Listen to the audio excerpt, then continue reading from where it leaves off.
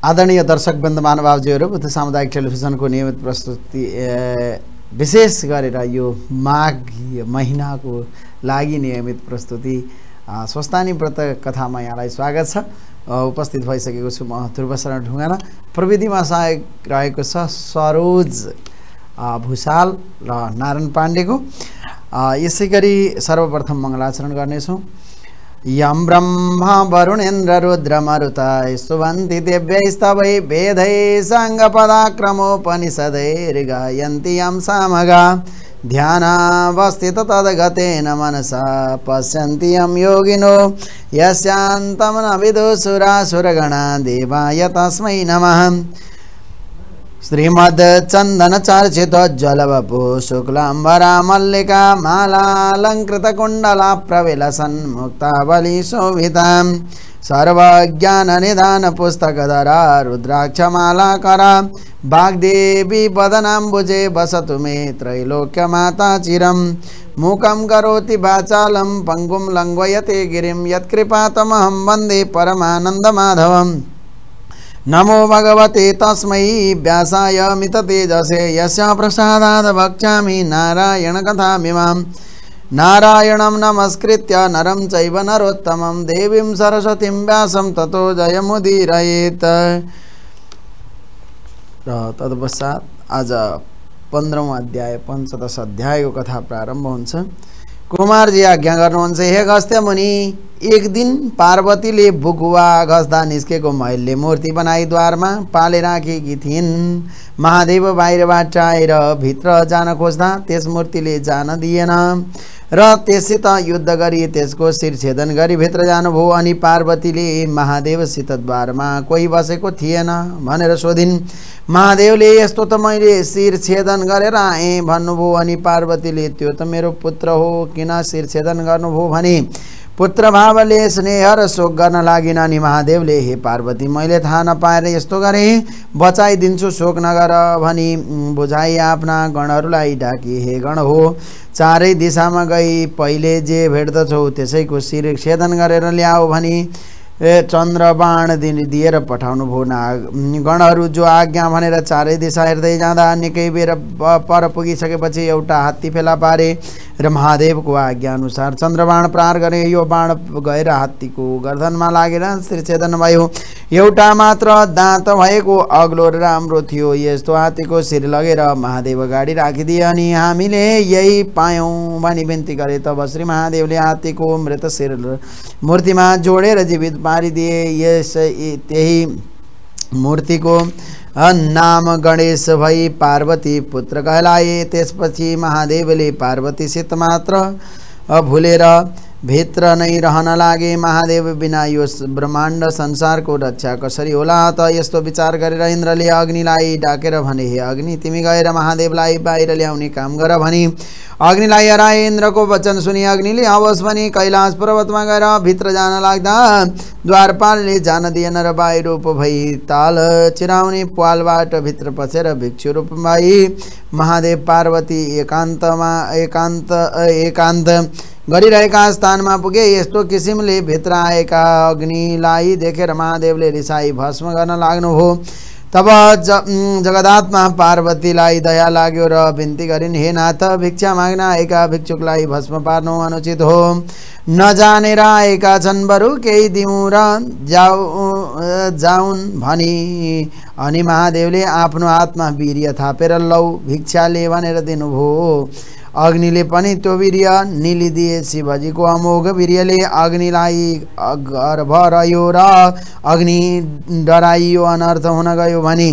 त्यहाँबाट गङ्गाको किनारमा गएर कुसको झाङमा उकेलिदिए यो वीर्य। आगो बले झैँ बलिरहेको थियो, सप्त ऋषिका पत्नीहरू गङ्गा स्नान गरेर फर्कँदा। आगो बलेको देखेर कसले आगो बालेर गएछ, ताप गए। एउटीले चाहिँ चाहिँ अर्काले बालेको आगो ताप्नु हुँदैन भनी गइन् छजना आगो तापेर घर गए ती आगो ताप्ने जतिलाई गर्भ रह्यो र ऋषिहरूले थाहा पाए तिमीहरूलाई कसरी गर्भ रह्यो भनी सोधे। ऋषिहरूले पनि केही उत्तर दिन सके पत्नीहरूले उत्तर दिन सकेनन्। ऋषिहरू रिसाई श्राप दिए अनि ती ऋषि पत्नीहरूले यो वीर्य गङ्गामा उकेलिदिए। आकाशमा गएर कृतिका तारा भइरहे। त्यही वीर्यबाट षडभक्त अर्थात् छमुख भएका कुमार उत्पन्न भए गङ्गा पुत्र भई श्री महादेव कहाँ कैलाशमै रहे। त्यसपछि कुनै दिन महादेवले गणेश र कुमार दुवैलाई डाकेर आज्ञा भयो हे गणेश हे कुमार तिमी दुवैजना गएर सुमेरु परिक्रमा गरेर आऊ जो पहिला आउला। त्यसलाई वरदान दिनेछु यति श्री महादेवको आज्ञा सुनि कुमार मयुमा चढेर सुमेरु परिक्रमा गर्न हिँडे। कुमार हिँडेको देखेर गणेश अब कसो गरौँ भन्दै आफ्नो वाहन मुसो छेउ गए मुसाले गणेशलाई चिन्तित देखेर हे विनायक किन चिन्ता चित हुनुभयो के आपत पर्यो भनी सोध्यो अनि विनायकले भने सुमेरु परिक्रमा गरेर आऊ भनी महादेवले आज्ञा भएको छ कुमार हिँडिसकेको सारा कुरा। सुनाए कि अब कसो गरौँ त यस्तो, म यस्तो, लामो सुँड ठुलो पेट भएको म हिँड्नै सक्दिनँ। यति विनायकले भनेको सुनि मुसो भन्छ ए गणेशजी, तपाईँलाई म केही ज्ञान दिन्छु सुन्नुहोस् महादेव पार्वती र गङ्गा तिनैजना बसेको स्थानमा गएर अञ्जली जोरी, हे पिता, हे माता, मेरा सुमेरु पर्वत पनि हजुर, मेरा सम्पूर्ण देवताका देवता पनि हजुर भनी तिन प्रदक्षिणा दण्डवत गर्नुहोस् अनि हजुरलाई अवश्य वरदान प्राप्त हुनेछ। आफ्नो वाहनको आरती मानेर गणेशले यसै गरे अनि महादेव प्रसन्न भएर भने हे गणेश तिमी धन्य रहेछौ। वरदान ल्याऊ। स्वर्ग मर्त्य पाताल तिनै लोकमा कसैले पनि कुनै पनि काम तिम्रो पूजा नगरेर गर्यो भने सिद्ध हुने छैन। यस्तो वरदान दिनुभयो। उता सुमेरु परिक्रमा गर्न गएका कुमार आइपुगेनन् र गङ्गाले महादेवसित बिन्ती गरिन्। हे जगदीश्वर गणेशले वरदान पाए तर मेरो पुत्र कुमार आइपुगेका आइपुगेनन्। गङ्गाको वचन सुनि महादेव भन्नुहुन्छ हे गङ्गे तिमी स्वस्थानी परमेश्वरीको व्रत गर अनि तिम्रा पुत्र कुमार आइपुग्नेछन् यति शिवले आज्ञा भएको सुनि। प्रसन्न भइन् र व्रतविधि सोधिन अनि महादेवले स्वयं व्रतविधि बताउनु हो हे गङ्गे पौष शुक्ल पूर्णिमाको दिन हात खुट्टाका नङ काटी, स्नान गरी पवित्र भई, एक भक्त रहे, एक चित्त गरी मेरो पुत्र कुमार झट्ट आइपुगोस् भनी नित्य मध्याहकालमा श्री महादेवको पूजा गर्न लागिन्। महिना दिन भयो, माघ शुक्ल पूर्णिमाको दिन अष्टोत्तर सय रोटी, अष्टोत्तर सय बेली पुष्प, अष्टोत्तर सय अक्षता, अष्टोत्तर सय पान, अष्टोत्तर सय कुड्का सुपारी र पञ्चामृत, वस्त्र, फलफुल। धूपदेव नैवेद्यादि समस्त वस्तु तयार पारेर आरसीमा ओङ्कार लेखी स्वस्थानी परमेश्वरीको पूजा गरिन् र अर्घदी, स्तुति, सकेर, प्रसाद, सिक्न लाग्दा स्वस्थानी परमेश्वरीको व्रतको प्रभावले कुमार आइपुगे अनि गङ्गाले धन्य श्री स्वस्थानी परमेश्वरी भनी आफ्ना पुत्रलाई प्रसाद आशीर्वाद दिन्। अनि कुमारले महादेव कहाँ गई? बिन्ती गरे हे पिता म पनि वरदान पाऊँ अनि महादेवको आज्ञा भयो। हे कुमार स्वर्ग मर्त पाताल तिनै लोकमा कसैले केही काम गर्दा?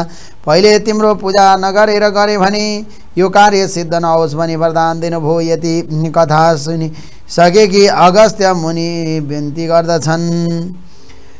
हे कुमार तारकासुर दैत्यले कसको तपस्या गरेर वरदान पाई अमरावती? समेत लग्यो फेरि यस यसलाई कसले र कसरी मारे इन्द्रको अमरावती? प्राप्त गरे यो वृत्तान्त आज्ञा गर्नुहोस् यदि अगस्त्य मुनिको बिन्ती सुनि। कुमारजी आज्ञा गर्नुहुन्छ हे अगस्त्य मुनि। हे कुमारजी आज्ञा गर्नुहुन्छ हे मुनि। काश्यप ऋषिको पुत्र तारकासुर एक दिन दुग्ध प्रभा तीर्थमा स्नान गर्न गएको थियो। त्यही पेची मुनिले तपस्या गरेको देखेर उसलाई पनि तपस्या गर्न मन लाग्यो।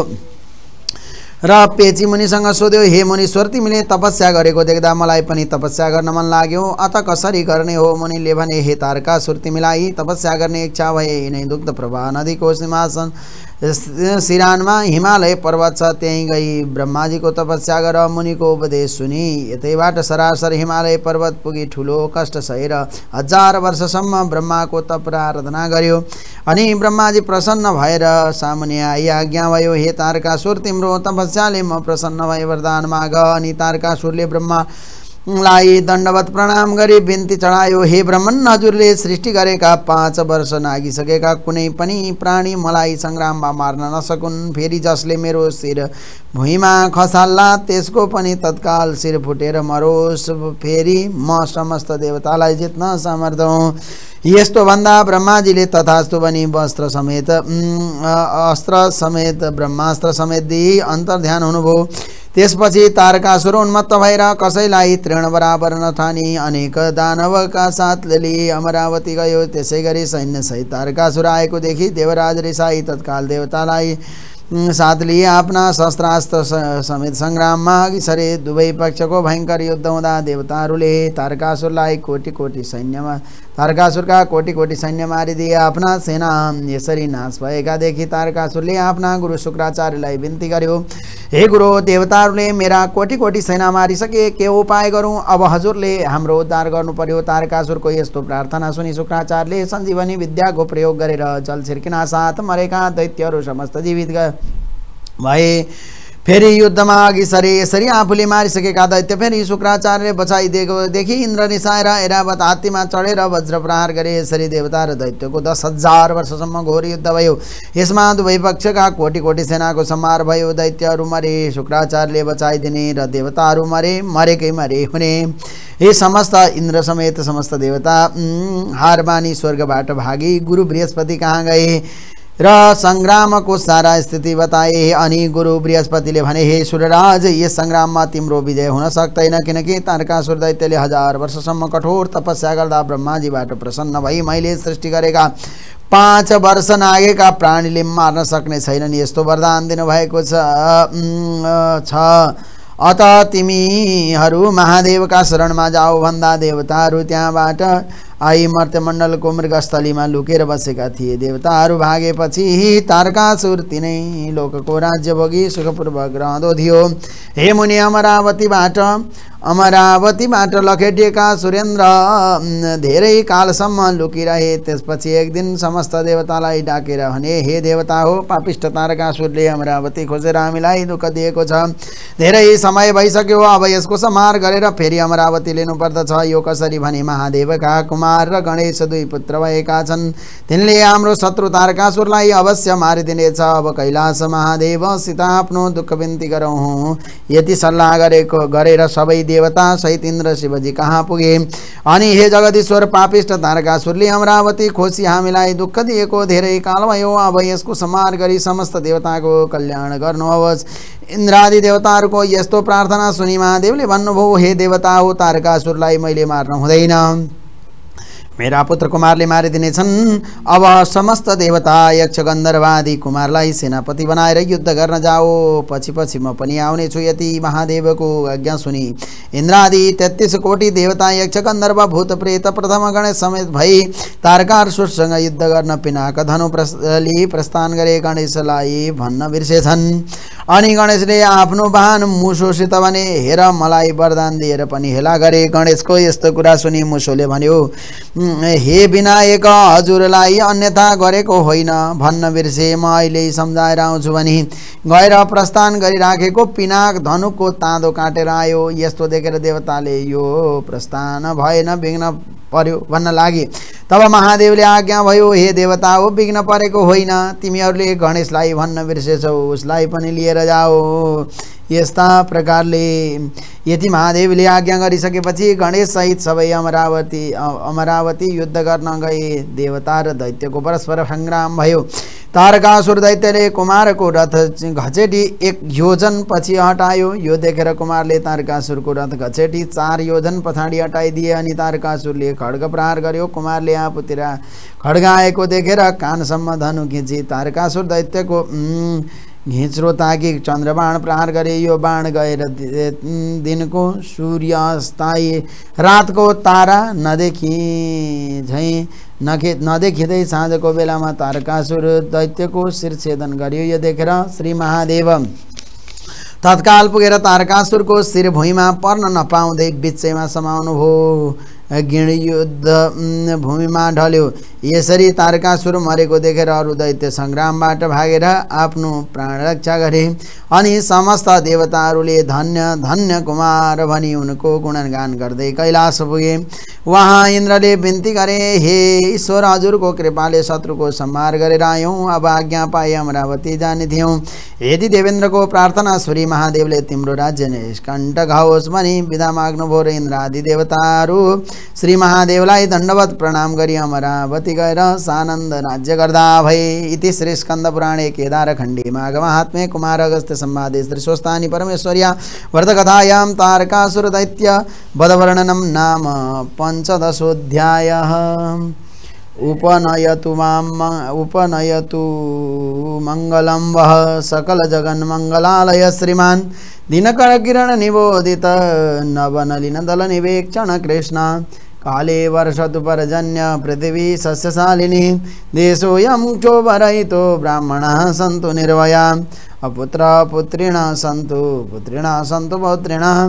निर्धना सदना सन्तु, जीवन्तु शरदां शतम् तत्रैव गङ्गा यमुना च, तत्रैव गङ्गा यमुना च, तत्र गोदावरी सिन्धु सरस्वती च तीर्थानि सर्वाणि वसन्ति तत्र यत्राच्युतोदारकथा प्रसङ्गं। या कुन्देन्दुत्सारहारधवला या सौरवस्त्रावृता, या वीणावर्दण्डमण्डितकरा या श्वेतपदमासना, या ब्रह्माच्युतशङ्करप्रभृतिभिर्देवैः सदा वन्दिता। सा माँ पातु सरस्वती भगवती निशेषदाड्यापः कायेन वाचा मनसिन्द्रियैर्वा बुद्ध्यात्मना वा प्रकृते स्वभावात्। करोमि यद्यत् सकलं परस्मै नारायणायेति समर्पयेत्। अथ स्वस्थानि देव्यार्पणमस्तु। आदरणीय दर्शकवृन्द महानुभावजीहरू आजको स्वस्थानी विशेष कथा यहीँ पूर्णताको प्राप्ति भएको छ। प्रविधिबाट सहयोग गर्ने प्रविधिज्ञ का साथ म ध्रुव शरण ढुङ्गाना पनि आज्ञा चाहन्छु। हेर्दै गर्नुहोला बुद्ध सामुदायिक टेलिभिजन। नमस्ते।